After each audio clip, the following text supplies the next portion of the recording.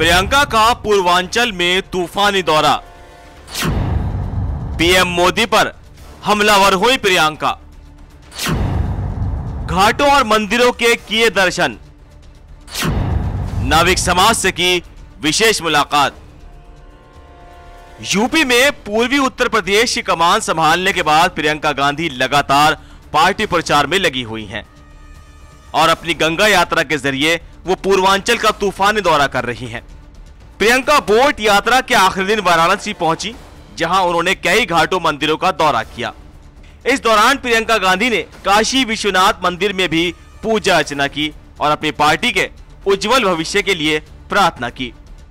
प्रियंका जिस तरह अपनी गंगा यात्रा के दौरान विंध्यवासिनी मंदिर गई थी, उसी तरह उन्होंने काशी विश्वनाथ मंदिर के भी दर्शन किए।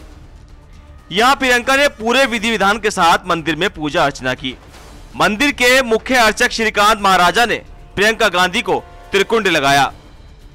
मंदिर पहुँचने से पहले प्रियंका ने गंगा घाट पर होली भी खेली और माँ गंगा का आशीर्वाद भी लिया। प्रियंका ने रोड शो भी किया। सुबह करीब साढ़े दस बजे प्रियंका गांधी वाराणसी के रामनगर पहुँची, जहाँ उन्होंने पूर्व प्रधानमंत्री लाल बहादुर शास्त्री की प्रतिमा पर माल्यार्पण किया।